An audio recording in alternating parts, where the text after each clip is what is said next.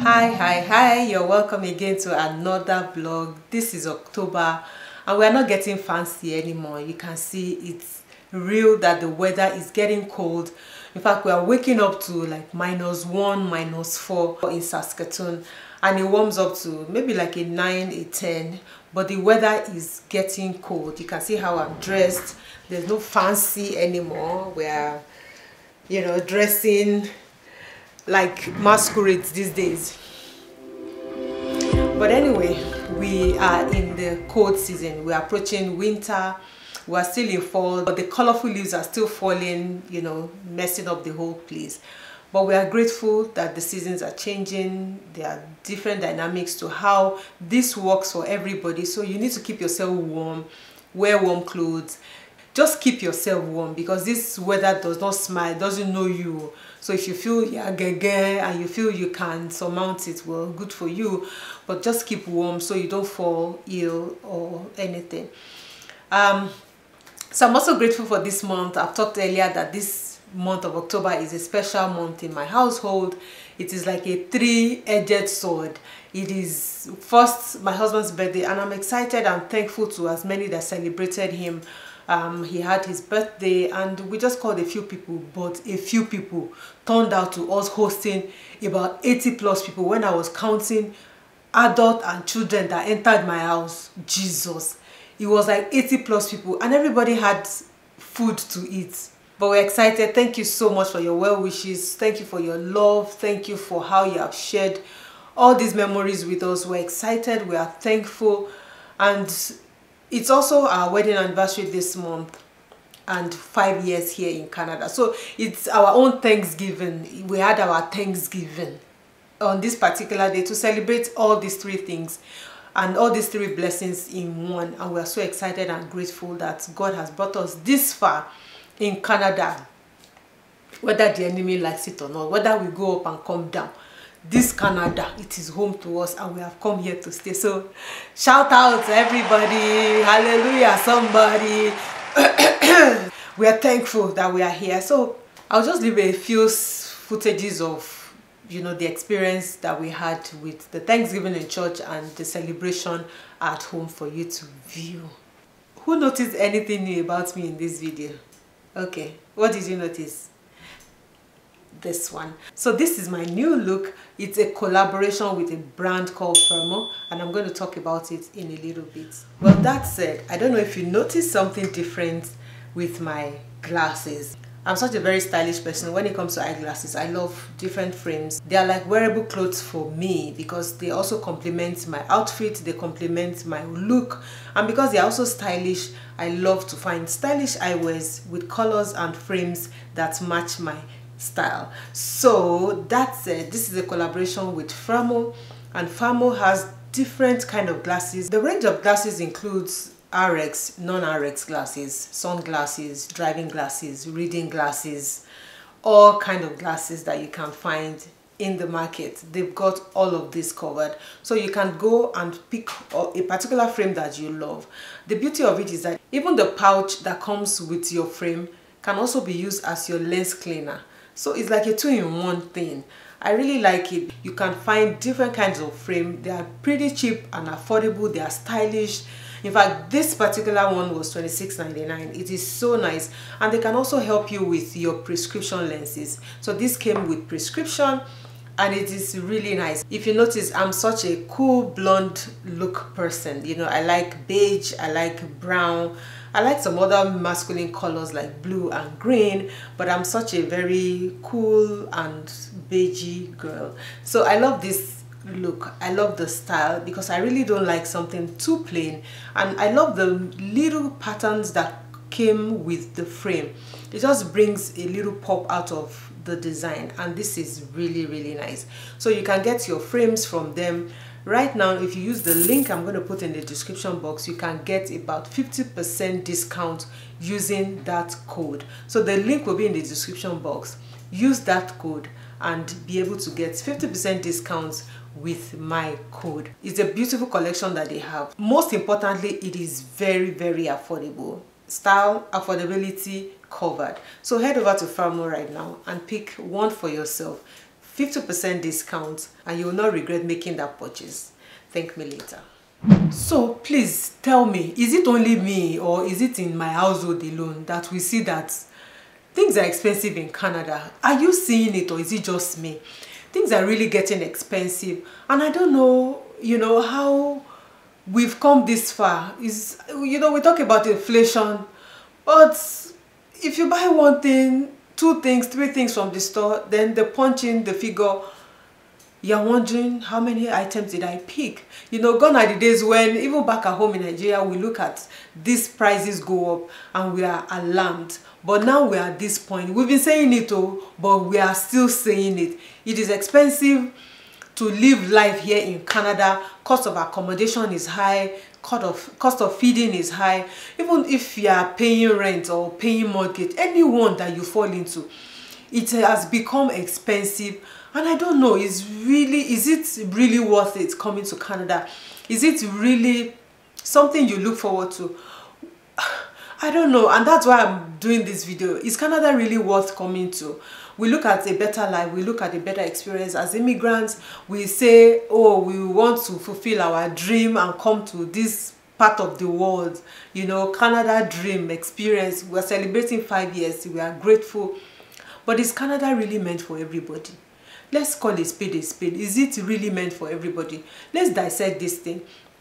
And I'll start by saying, look, with the current and frequent changes in the immigration process, it is alarming that everybody has come to be confused with what the government is really talking about. Today, it is PGWD. It changes with the international students as regard their work permit. Tomorrow is deportation. You know, another time it could be visitors that can't stay anymore. It could be anything. And then all these things keep making visitors or immigrants to Canada shaky, you know, their status remains shaky. And it confuses those that are also abroad trying to move to Canada or looking at this opportunity. Should I come to Canada or should I not? And so I'm just here to sensitize our mind and make us, you know, think again. Is Canada really worth coming to?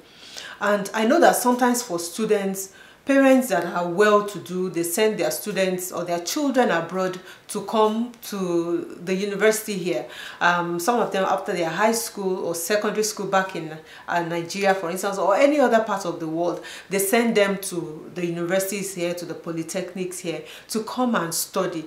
And it's a, it's a good route for them as they have you know even though they don't have experience but they can come in to the university they have good grades they have admission they can from there begin to work towards their PR and then get their final stay but living a 15 year old or a 16 year old alone in Canada also begs for concern because you have to know the child that you have. Can you confidently leave that child? I've seen parents that have left children or sent children abroad at that age and the children turned out, yes, they might have wiggled and fumbled and then come back to their senses. But there are some that have totally drifted away and made their parents regret sending them here. So I'm just addressing that part of the of the divide of children, younger children. I won't personally, my family won't send our children abroad and that's why we moved with them. We wouldn't send them, not that they were not well behaved, but sometimes this society, you can't even imagine what you will meet when you come here. Things keep evolving and you know the pressure for children that are just getting formed, they don't know anything and that's why I really am against that 18 year old adult age that Canada has set because they say you become an adult at 18 excuse me what does an 18 year old know? What do they know? Because if they don't they need guidance they need tutelage they need direction they need you to pull their hands to help them to do stuff. And even with 21 years that we call adulthood in nigeria these children still know nothing.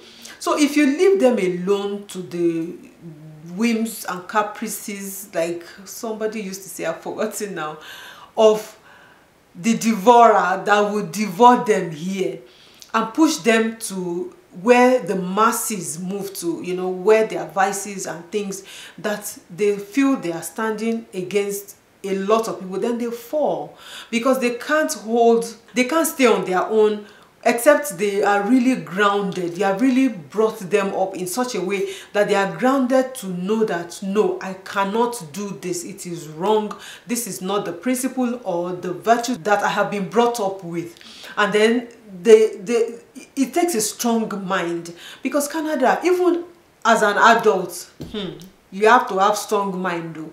Because it's like if you can't beat them things you join them you know that kind of adage and so many people we see we condemn a lot of things that happen here.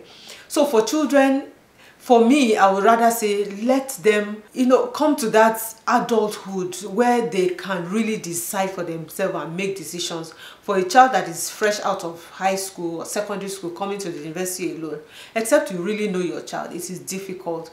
And then looking at coming to the university or even coming out of university and you need your child to you know from there or if I apply for a postgraduate program or master program. Of course when you come to a master's program then you are already an adult adult you know.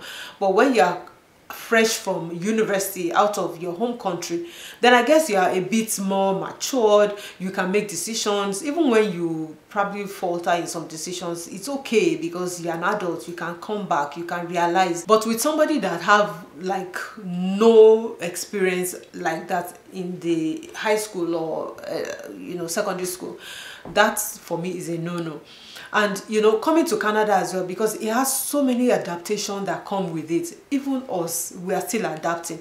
So many things fall on us. So many things come on us that it still shocks us. And even though we say canada is embracing canada is diverse canada is open um, accepting immigrants there's still some things that shock us and we are still getting to know. So for those categories of people that come in even if um, you can you can immigrate in that way you know come in as a postgraduate student or even come do your master's program that's fine and then begin to navigate. But you must understand that you have the capacity to be able to pay your way through school. Because see hmm, some students or some children are still dependent on their parents even though they are out of the university because they are not working their parents still send money. Do they have the capacity to pay for these fees? These fees are not cheap. International student fees it is like times three of a PR fees when you're a PR holder. So for me, this is just my own candid advice or candid advice. I don't know how else to say it. I would rather say that look, coming through the PR route, that is still the surest route for you to settle and move into Canada and you know by that you are not paying school fees. That is already one box off your head or you thinking of how do i make these fees? Or the year of school year is running to an end and you're thinking how do i pay these fees? Because you already have said you have capacity or you have some money back that is going to help you finance your way through school. And you're halfway through school and something awkward happens or you can't even make that way. But with pr you don't have that concern you can even come in as a pr holder and decide to now go to school but already you're a pr holder so you can decide it's not the one that you come most people that come in as students they, they, they really don't want to come in as students. It's either maybe age is not on their side and then they come in and um, they just feel, let me come in as a student. They really, it's not that book that is doing them. They want to come as, you know, immigrate to Canada and be a citizen eventually. But these are just routes that make them come. As some also come in as visitors and want to come and hide. That one is a no-no now you know. If you come in as a visitor it's really difficult. Maybe except you find someone that you marry that you can help you with citizenship or stuff. But it's kind of difficult. You have to go back. So PR seems the best route or if you find a job out of country that brings you here that also seems okay. But your proof of fund has to be standing well. You have that to back you up and move this way. So um, accommodation is also a thing that is really really expensive.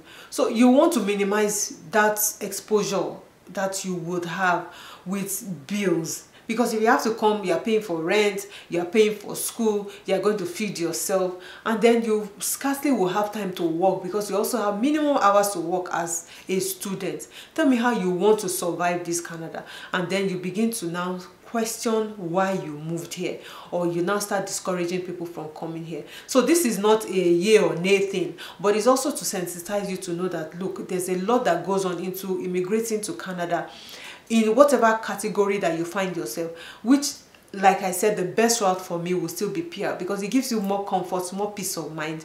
It helps you to really you know be comfortable because you know that you're not spending. The only thing you're spending on is your feeding your accommodation. You're looking for a better job or a good job uh, from the start when you move here. And you know just begin to pace your way through like you know when things come. So please um, we need to look at these things. Canada is not cheap. Canada is really expensive these days. And I hear people say because they also don't want to come here and come and start from the beginning is discouraging. Just weigh your options. Look at all all as you know your your situation, how it affects you, your family size. Just look at everything in perspective and know what to do um, don't run away from the advice of people that have gone ahead of you because they know better. You have not come to this soil if you are not here. So you don't know. It, it, I remember even when we moved here and, you know, there was even less communication with a few people or most people self, even back at home. And some people feel offended that you have come here now, you have, you have doubled your shoulder and they begin to feel offended that you are not responding to them. They don't understand.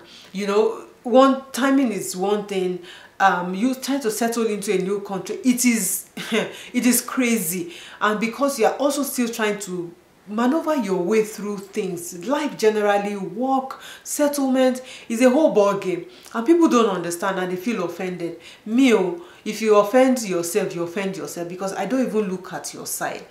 I am trying to settle is a new life entirely. And if you feel offended by me probably not getting in touch with you on time or not responding to you on time sorry má bínú. It is not my fault. It is the new country i've come to. So you have to give time.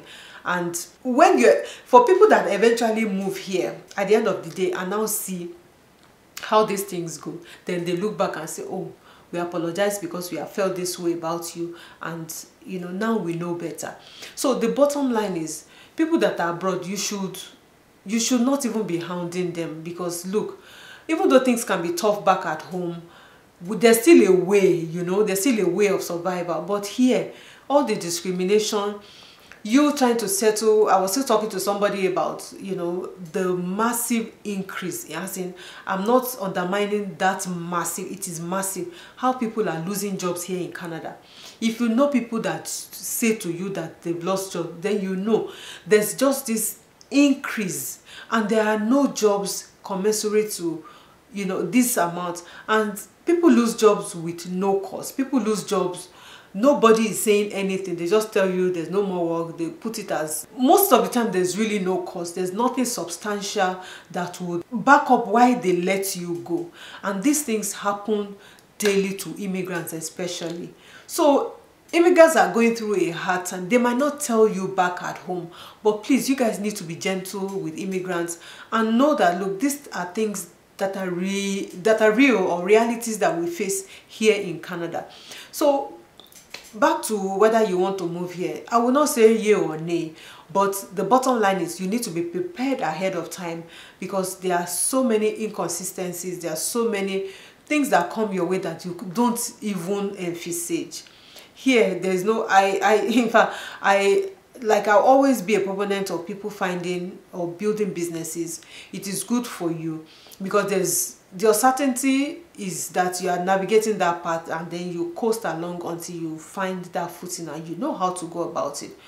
But if you are not and you're at the mercy of an employer that will fire you at any point in time because you carry one leg or because you were working, they did not like the way you work or you said something and they just turn around and say they are doing restructuring or one funny thing to back up why they let you go without a reasonable cause. And i think these are things that the government needs to fight. There must be a reason something that backs up. They can't just say you are no longer needed. Your services are not required.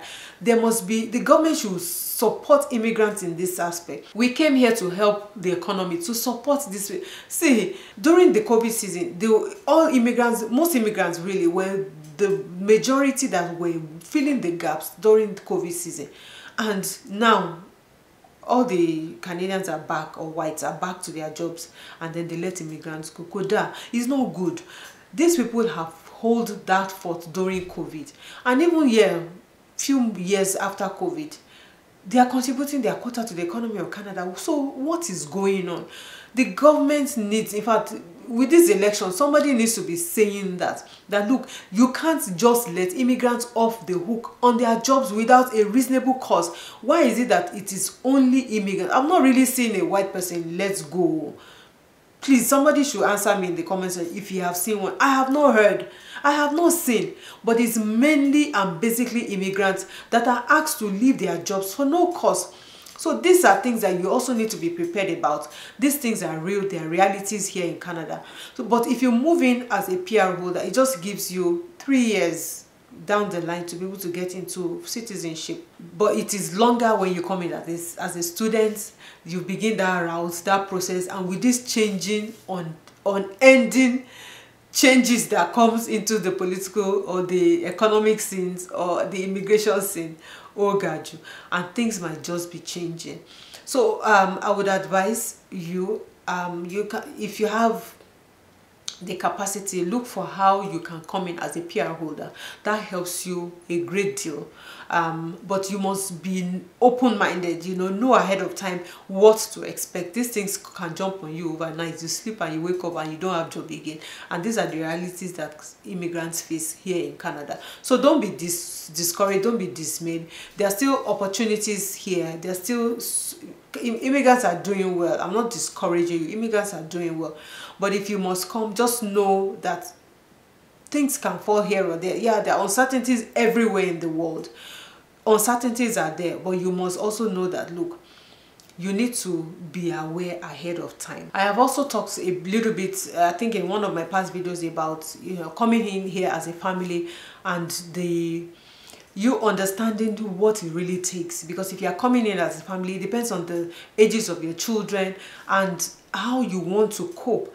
Um, i know that a few people that will just be so confused and say why did i even come here? If you have children two five seven the woman madam you it just means that you won't work. It just means that you can't work for a period of time except you probably run shifts in such a way that it it's like you're you're working nights your husband is working day somebody has to be home with the children.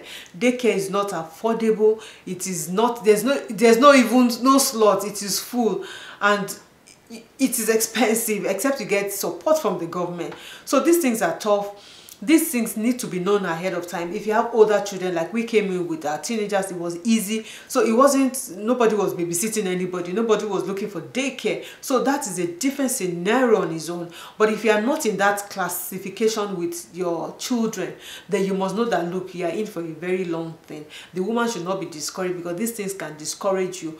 But just know that look there's work ahead of you. Just find ways in which you can you know just stay in the home front. If you have small businesses you can do alongside while at home. Please keep at it and begin to do it or find jobs that can help you work at night you can't even find where to keep your children because one they probably won't be in school or maybe just one of them if they are like six or so will be in school and the others are at home with you. How do you want to cope? You want to kill yourself. So you must look at all this in perspective so that you are not stressing yourself out you know and that's why it is important for couples to help out. You know help yourselves. Don't leave all the work to the woman. Don't leave all the work to the man. It is stressful. And don't send your wife alone and you stay back in your home country. It is stressful it is stressful. Canada is a life that is stressful and we need to manage this stress. In fact kai canada has shown us pepper but we are grateful that we are here. We are we are evolving. We are making progress and i'm just so optimistic that look when you weigh your options everything that has to do with you then you can determine in your heart with god on your side whether canada is really meant for you or not. So guys i'm going to wrap up here. If this video has been helpful to you please put in the comment section. Are you in canada here? Say hey say nay say whatever you want to say. Put in the comment section. Let's know your experience about if you're encouraging people to come to canada or not or they should just stay in their home country and you know just say whatever you feel. And if you're new here please like subscribe so that you continue to see the content when i post one. Please share this video to those that you feel will be helpful to. And thank you for always staying tuned. If you are always my og's here thank you so much. I will see you again in another vlog. Catch you guys